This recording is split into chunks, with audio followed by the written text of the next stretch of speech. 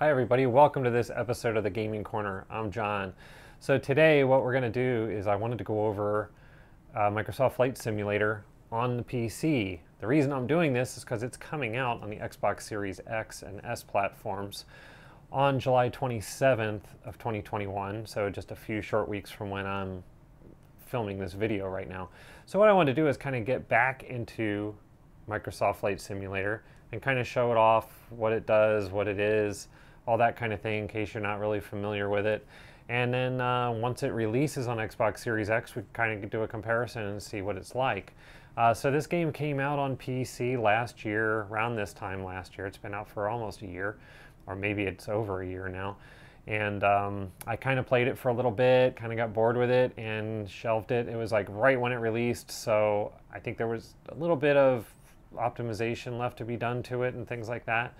But we'll see how it goes. It's updating right behind me right now. It was like an 83 gig update. Like I said, I hadn't played it uh, probably since release last year. And so I'm waiting for it to update. And once it's done, then we'll dive in there and see. Now, the specs on my computer that I'm going to be playing it on, I'm on the Windows 11 beta. So just take note of that if anything goes really bad. It's on Windows 11 beta. I have 32 gigs of RAM a graphics card is an RTX 2070 Super, and the CPU is an AMD Ryzen 7 1700X. So CPU is a little on the lower side, um, or older side, I should say.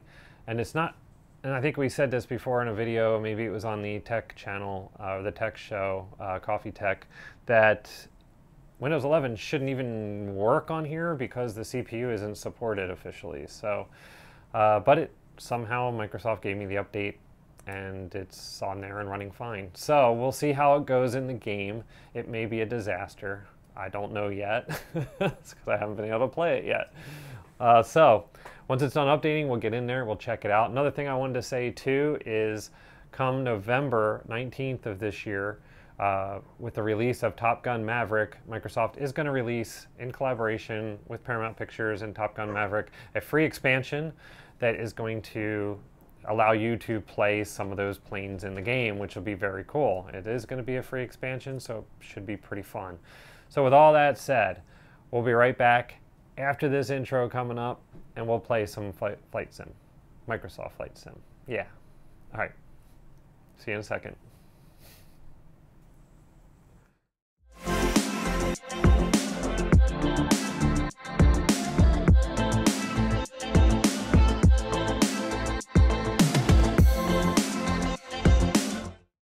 Okay, everybody, hello and welcome back. So, as you can see on the screen, we're finally loaded in. It's many, many hours later after the update. Uh, it's a huge update, like 80 some gigs. Uh, again, I'm on the PC. We're going to go through the settings that I have it set up on. We're going to go through the menu that you see in front of you. Um, I'm going to be looking up because of the way the my crappy web camera is kind of pointing at me. I just wanted to do a web camera just so you could see see me and so I can talk to you. I don't like really talking that much to just the screen and having you guys watch the screen while I talk. So let me know if you guys like this or not. I can always take the webcam off. Actually makes things easier for me. Um, and just another thing too, when I tried to do this capture of this, I tried to use the new uh, my Xbox Game Bar um, that's built into Windows 11. Uh, I know they had it in Windows 10 as well, but it just doesn't work that well. Everything was kind of stuttering, and the audio from my microphone sounded terrible. Um, it just sounded awful. I tried the blue uh, snowball mic right here. If you guys can see that one, I tried that uh, via USB and it just sounded terrible. Um, and uh, so I'm actually recording, if I can set that down, I'm actually recording everything through my Rodecaster Pro, um, which I use for podcasting and stuff like that. So everything's running through there. The audio from the computer and this microphone pod mic here is going into the Rodecaster, and that's how everything's being recorded. It's all being captured in uh, Streamlabs OBS, and so hopefully everything works good. It seemed to work okay. I did turn off HDR in Windows 11 because that seemed to have some washed out effects in, in OBS. So turn that off, rebooted the computer, and let's go through the settings here on the game. Okay, so oh, and one more thing, I am playing this through an Xbox 360 wired controller. Yes, I still have one of those, and um, don't ask me why. I just wanted a wired controller for this demo, um, but of course I have multiple Xbox controllers that will work over Bluetooth. I decided on this one because it's wired up and it was there. no really better reason. Okay, let's get to the screen here. I'm going to be looking at this screen, so not at you guys. Uh, so right here, we're at the welcome screen. You can see there's a world map. That's where we can edit flight pla- flight plans, create a new flight plan, uh, go from whatever airport you want to whatever airport. Um, or select existing flights and things like that. Uh, we'll get into that. Uh, there's a landing challenge. There's different challenges that are available. So that's over the next min- window over. That's a current spotlight event is a landing challenge. Uh, there's flight training, which we're going to dive into a little bit too. Uh, activities, things to test your skills with landing, bush trips, and more. So there's other activities you can do. And of course, there's news and feedback and support and all that. So across the top, you see welcome profile. So we're going to go over to profile. And so this is me. Uh, that's my gamer tag and shows I have one hour in the game. I'm so good at it. Uh, you can see your hangars. These are all the planes that you have, content manager and logbook. So you can get additional content. Now here's the marketplace. Now this is kind of the rub with this game is it's free for Xbox Game Pass and I'm doing this free right now on the PC. I did not buy this game uh, but I'm using it as part of Xbox Game Pass Ultimate. Uh, so it will be available on the Xbox, as I said in the intro. So, but here's the thing: if you want the Airport France Pack 1, you're going to pay an extra 30 bucks for it. Um, it's rolling through all this stuff right now. Uh, different planes, different airports, things like that are going to cost you real world dollars. Now, there are different tiers that you can buy this game at, which do come with extras. I think it goes up to like a $100 or more. Um, so you can buy more if you so choose to, um, which I don't know if I recommend it or not. I mean, I guess that's up to you. I'm just going to use my mouse here instead of the controller for for all this. But if we go into the full catalog, um, you know, it just shows kind of everything that's there. So there's bundles. And so here's the bundles here. So yeah, it goes up to $99. This is the premium bundle that I'm hovering over right now. Uh, so that's a hundred bucks. You got the premium deluxe upgrade, which is $84.99 or the deluxe upgrade for $79.99. Um, yeah. So yeah, so owned, I have the flight simulator aviators club livery, I guess. Yeah, so there's different things in there. So you just have to go kind of pick and choose what you want. Here's, you know, different airports, different planes, things like that. Um, so yeah, there's a full marketplace available for, you know, whatever you want. so, yeah, so it's you don't get everything when you're getting this on Game Pass. You're getting the basic game, really, which is which is cool. You know, whatever. Um, so now next, let's go into the options. So under general options, let me show you how I'm configured right now. Um, I did turn it on Windows 1080p um, just for this this right now because otherwise if it gets too much OBS has trouble I'm trying to capture and play on the same computer so you know how you might know how that is, but it does stutter a little bit, and so um, I didn't want there to be any stuttering, so I'm doing Windows mode in 1080p and capturing it that way. Um, it does have my global rendering quality is high end, so it did detect everything on my computer and did do high end. Frame rate limit is 60 frames per second, although my monitor is 144 hertz. It should be able to get to that level anyway, um, but it might you might have issues at that point. Um, scale rendering resolution. So it is rendering at a higher, a bit higher resolution than 1080p right now. And you can see all those settings right there. So that's how it kind of, it's just how it defaulted. So I didn't really do anything for that. Go ahead and you get camera settings, your camera selection. You can switch between different camera selections. Um, so for in-game using the shortcut, uh, oh, that's kind of cool. I didn't know how to do the camera in game. So we're going to try to play with that too. And, you know, all sorts of other options. There's sound options. There is music, I turned it off because I don't want any copyright claims or anything on this video, but there is in-game music and all that good stuff. And right there, I have it kind of turned off. So, um, but it's decent music. It's background music, so, you know, whatever. Uh, so we do have real-time online air traffic, aircraft traffic. Uh, so this game does have real-time weather, real-time uh, everything pretty much, and real-time aircraft traffic apparently. So very cool. Uh, so here's stuff about data, current data consumption, and all that good stuff. Flight model, we're on modern, so this is the default. Uh, miscellaneous, I'm in the US, so I have all the US stuff. Uh, there's accessibility options. There's a VR mode too. So I have not tried the VR mode, but I do intend on trying that with the Oculus Quest. So look for another video on that because I am anxious to try that. Uh, so we're going to try it on the Quest 2 and see how it goes. I'm looking at it over there. So we'll see how that goes. I don't know.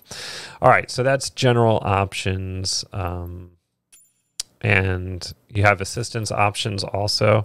So I have everything on easy because I suck and I'm using a controller and not a flight stick and a yoke and all that good stuff and a uh, you know like yeah pedals and all that good stuff. I don't have all that equipment. I have some equipment, but yeah, I'm not that big of a flight sim guy. So I want it to be easy, and we'll see how easy easy is. Uh, let's see. So there's a bunch of assistance options you can do and control options. There's a whole ton of stuff in here too. So again, it shows me I'm using the Xbox controller and uh, yeah, there's a lot of different things you can do with the controls. So just leave it there. It is a flight sim. So there's just a ton of different options that you can do. I mean, yeah.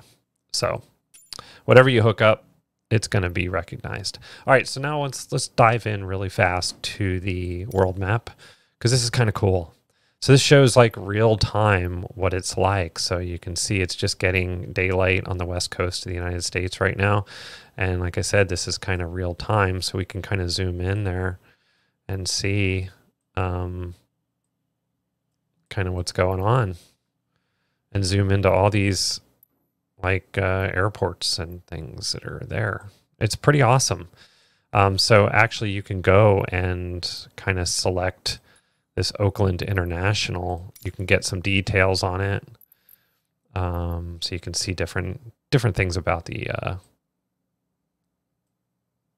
the airport, and you can set that. Then, like if you click on it, you can set that as your departure or your arrival destination, and then you can just choose whatever other airport you want. Like, say we want something in the Hawaiian Islands, which should be right over here. So, um, let's see. We want to fly. Where do we want to fly into? I don't know. I guess we'll fly into Honolulu International. And so there's details on that. So you can set that as your arrival or departure as well. So once you do that, you set one as an arrival, one as a departure, and you can just go ahead and it'll kind of set you up for a flight plan and you just go. And so on easy, at least, when I set this up before, it said I have unlimited fuel and all that stuff. So I didn't have to worry. So I could drive, you know, drive. I could fly a Cessna from Philadelphia to Hawaii nonstop. So that's unrealistic, but you can turn all that off. So just so you know, pretty cool. Um, but for right now, I just want to go in and let's just go over like one of the flight training things, just so you get, get an idea what the game looks like and how it loads up. Now, one more caveat here is I have the game running on a external normal kind of a backup hard drive so it's no high speed drive um, and it does matter. It does show. So i'll i'll just tell you put it on an, a fast ssd if you have one because it does rely on the data on that hard drive an awful lot and it does take time to load. So just throwing that out there. And let's see, it does look like I am slowing down here. So let's see if this is actually going to keep going for us here. All right, we're just going to go over basic controls. Um, and let's go to fly and let's let it load up. So uh, right here, it's going to say what we're learning. We're going to learn about aileron, flaps, rudder, and elevator. Uh, I'm not going to go through the whole demo here because we're already 12 minutes in. I just wanted to really show you guys the game um, and how it looks right now on Windows. So when it does come out on Xbox, um, I want to really see, like, I know for a fact it's going to load a lot faster. Um, I didn't even show you guys the loading screen in the beginning because it was just too too crazy. But here's the plane. Here, here we are. We're above uh, Sedona, Arizona, and we're in a Textron Aviation Cessna 152. And so there you go. It does show two dudes in there, but um, you'll see in a minute there's nobody in there. So let's go in and fly. Welcome to flight training. I'm your instructor, Captain Molina, but you can just call me Jess. So there's Jess. All this right. session, we'll get started with some basic controls. Sound good? Sounds good, Jess. First things first, let's get familiar with your surroundings. Okay. Don't worry. I've got the stick while you get your bearings. Okay, so Jess is flying us. Out so we're not flying windows, right now. You can see we have great visibility over Sedona today. Okay, so we can kind of look. So if you hit these buttons this here, it'll automatically zoom Beautiful, over to those it? areas, which is kind of nice. Okay, now if we use the left, right, and up and down on the keyboard, you can kind of raise your view, lower your view, go to one side of the plane. So that's kind of nice that you can kind of just zoom around there. And you know, just keep it in the middle. Or you can right mouse click as we see here. There's my mouse pointer and we can kind of look all over the plane in the back and every which way.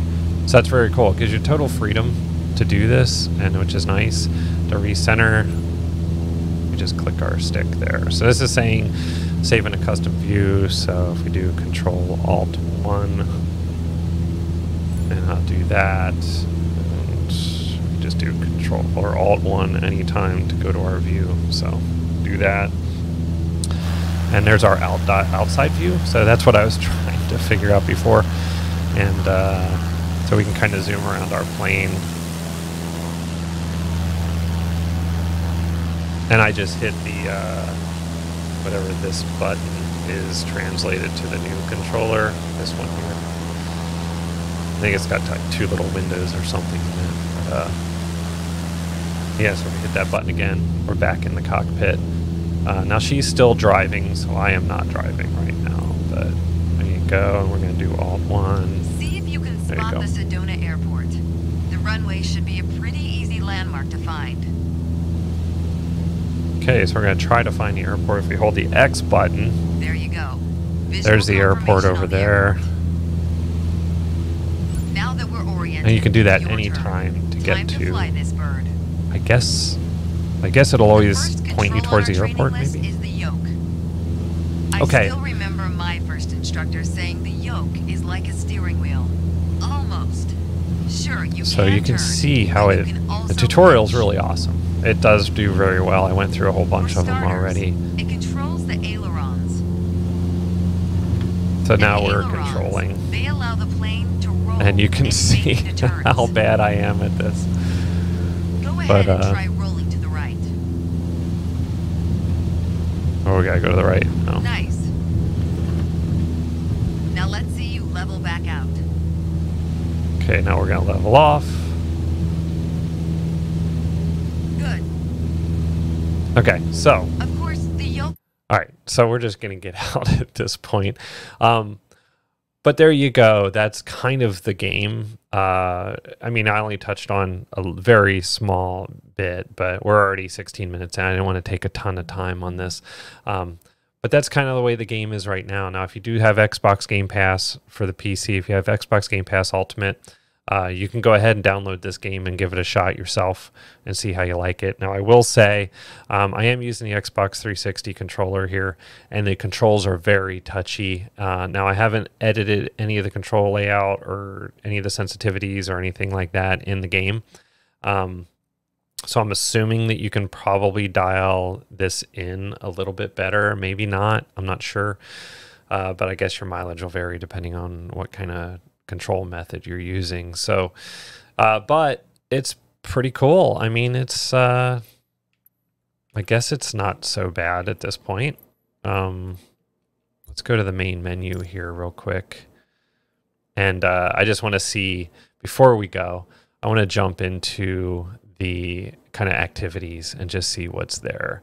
Because um, I actually really haven't done that yet. I just went into what you guys saw. It's as much as I've really done. I mean, I went through a few more of the, um, you know, the tutorial type things, but other than that, I really haven't done a whole lot with this.